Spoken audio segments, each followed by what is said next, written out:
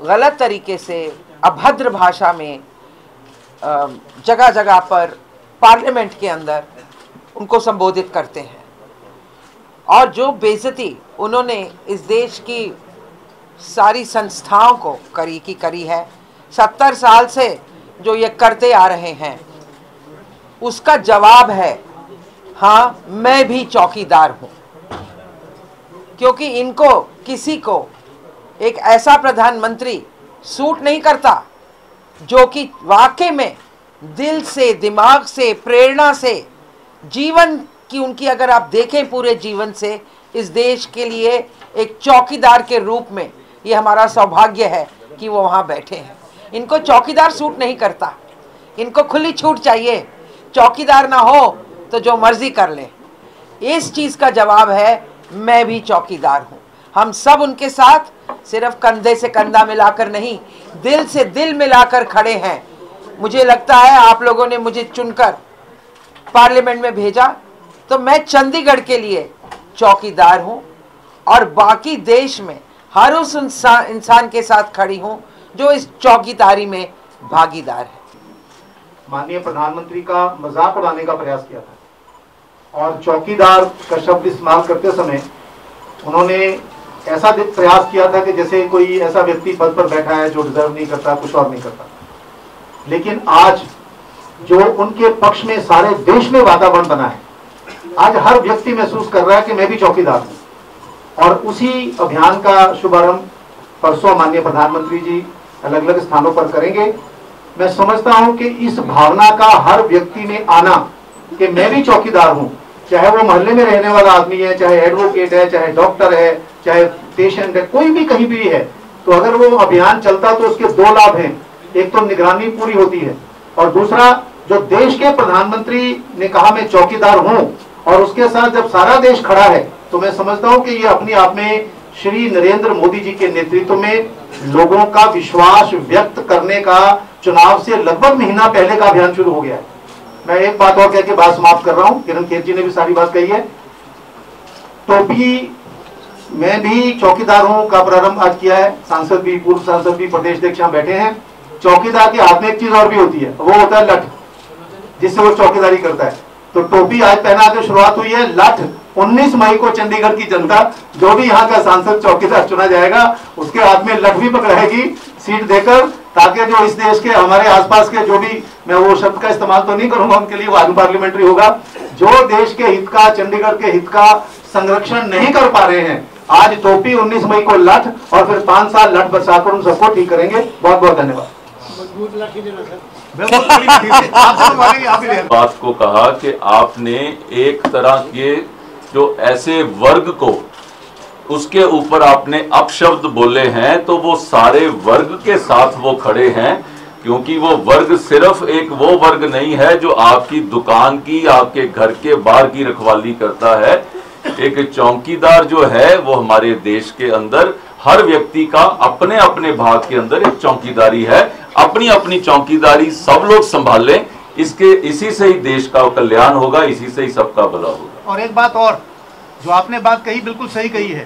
कांग्रेस ने चौकीदार का अपमान करने का प्रयास किया। भारतीय जनता पार्टी ने हर चौकीदार का सम्मान करने का That's प्रयास किया। देश का प्रधानमंत्री सांसद पूर्व सांसद मंत्री जब सब चौकीदार मान रहे हैं तो मुझे लगता है जिन्होंने चौकीदार का अपमान करने का प्रयास किया था आज वो भी अपने घर में गर्तन जो आकर सोच रहे होंगे कि हम क्या कर बैठे अब तक अभद्र भाषा यूज़ करके प्रधानमंत्री इस देश का होता है किसी पार्टी का नहीं होता है।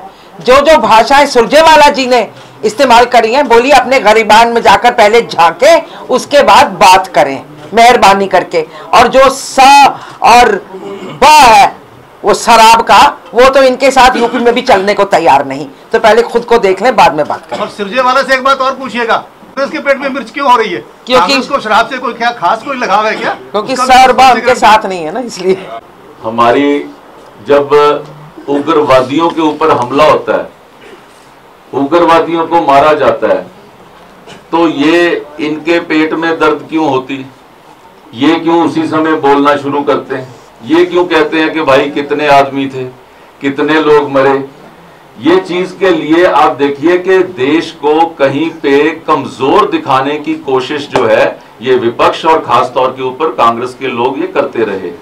और किसी भी चीज़ का ये जो कोई अभद्र भाषा है उसका प्रयोग नहीं होना चाहिए। लेकिन सबसे पहले जो है इस चीज़ की शुरुआत इनके ही जो है घर से होती। है हाँ, एक एक कैमरा देख लेते हैं।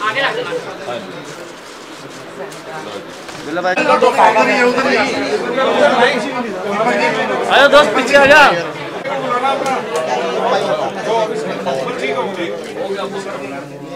उधर के चलते रहने दो भाई।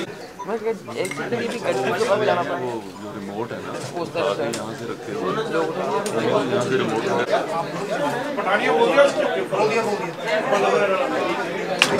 नरेंद्र मोदी जी के संरक्षण में जो कार्य कर रही है उस कार्य के निमित्त ਕਰਨਾ ਚਾਹੁੰਦੇ ਜੀ ਕੋਈ ਸਲਾਹ ਕਰ ਲਈ ਵੀ ਤਿੰਨਾਂ ਚੋਂ ਕਿਹੜਾ ਹੋਊਗਾ ਅਗਲੇ 5 ਸਾਲਾਂ ਚ ਜਿਹਨੂੰ ਨੌਕਰੀ ਮਿਲ ਗਈ ਨਾ ਉਹ ਉਹ ਹੋਊਗਾ ਨਾਲ ਨਾਲ ਦੂਜੇ ਵੀ ਦੋਨੋਂ ਚੱਲਣਗੇ ਤੇ ਤਿੰਨੋਂ ਹੀ ਹੋਣਗੇ ਡੋਂਟ ਉਹ ਵਰੀ ਇਹ ਤੁਹਾਡੇ ਨਾਲ ਚੱਲਣਗੇ ਸਾਰੇ ਕਿਉਂ ਨਹੀਂ ਆ, ਲੈ ਮੇਰੇ ਨਾਲ ਨਹੀਂ ਕਿਹਾ ਇੱਕ ਦੂਜੇ ਦੇ ਨਾਲ ਕਿਹਾ ਮੈਂ देखिए ये ये सवाल आप आप टेलीफोन पे हैं। और सब लोग का एक ही इसका जवाब है, वो ये जवाब है कि हमारे तीनों का जो नाम है केंद्रीय कार्यालय के पास है। केंद्रीय कार्यालय जिसको कमल का फूल देंगे, जिसको भी देंगे, उसके साथ सब लोग चलेंगे। ये बात आपको सबने इंडिविजुअली भी बोली है कलेक्टिवली भी बोल देते हैं, आप उसको रिकॉर्ड भी कर सकते हैं, छाप भी सकते हैं। बार बार वही सवाल आता है। मुझे लगता है कि इस विषय को इस पे विराम देना चाहिए। ये पार्टी का निर्णय होगा। जो निर्णय होगा, सबको हम लोग एक सिपाही की तरह काम कर रहे हैं। हमको कहेंगे, ज़मीन पे बैठ जाओ। हम ज़मीन पे बैठ जाएँगे। हमको कहेंगे, ये काम करो, वो करेंगे। नहीं करेंगे तो दूसरी तरफ़ बैठने तो उधर बैठ जाओ। हम सब लोग पार्टी के लिए अपना वफादारी से काम करने के लिए सब लोग तैयार हैं ਅਹ ਟੰਡਨ ਜੀ ਤੁਸੀਂ ਗਾਰੰਟੀ ਦਿੰਦੇ ਜਿਹਨੂੰ ਟਿਕਟ ਮਿਲੇਗੀ ਅਹ ਸਾਲ 2014 ਵਾਂਗੂ ਉਹਦੇ ਤੇ ਆਂਡੇ ਨਹੀਂ ਵਰਤਣ ਦਾ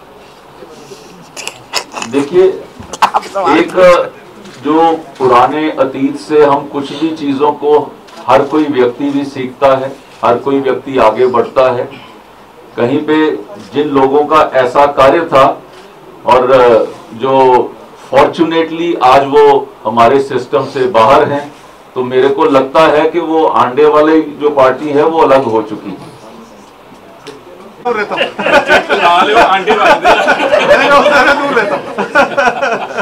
आप सब लोग